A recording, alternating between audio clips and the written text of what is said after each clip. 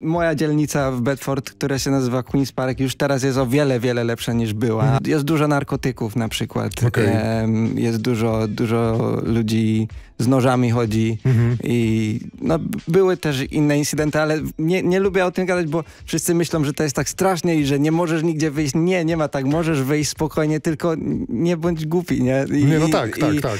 I chodzi, jest okej. Ja się z tymi wszystkimi chłopcami znam, bo jest z nimi, no dorastałem z nimi, nie? Mhm. Więc znam ludzi, co są teraz w więzieniu, znam ludzi, co robią nieciekawe rzeczy, Mhm. ale nie wiem, to jest taki charakter tego miejsca. Ja nie powiem, że jest, że jest niebezpieczne, ale na przykład mama zawsze mówi, że z psem nie wyjdzie o, o 22, a ja, Okej. się, a ja się z nim, ja się śmieję, nie? Ja mówię, Okej. że jest git.